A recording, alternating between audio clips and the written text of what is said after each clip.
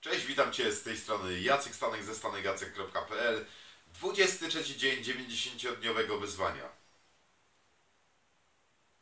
Nie wiem co mam nagrać. Naprawdę nie wiem co mam nagrać. Nie mam tematu. Nic mi do głowy nie przychodzi. Ale za to dam Ci dobrą poradę dzisiaj. Słuchaj, dzisiaj przeglądałem internet.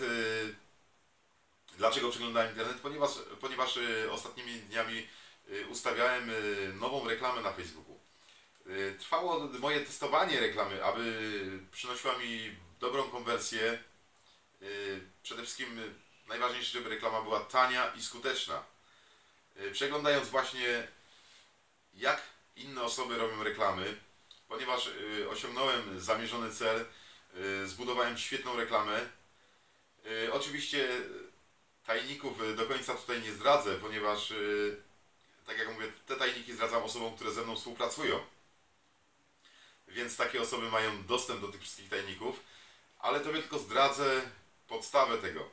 Jeżeli robisz y, już stronę przechwytującą, nie, za, nie wpisuj tam w nagłówku czegoś takiego, czy chcesz dowiedzieć się to czy to. Nie pytaj osoby, czy chce, bo ona odpowie wtedy tobie, y, może nie tobie otwarcie, ale odpowie na taką reklamę, no nie, nie chcę.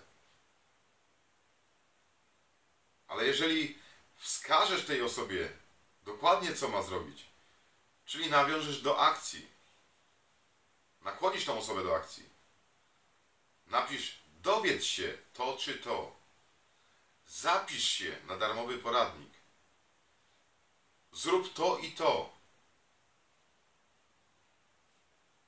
Zobaczysz, że Twoja reklama zmieni konwersję, ponieważ co z tego, że masz kliknięcia w link, jeżeli osoby przechodzą do strony przechwytującej i nagle się nie zapisują. Trzeba tam szukać problemów. Jeżeli reklama dotarła do wielu osób,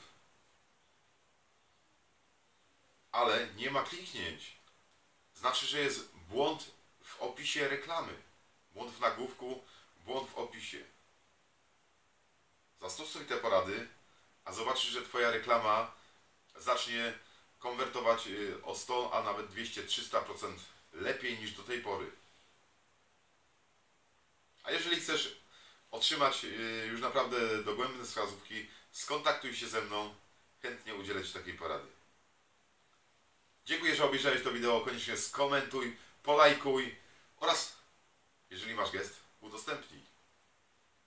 Na razie ciao, do zobaczenia już w jutrzejszym nagraniu. Cześć!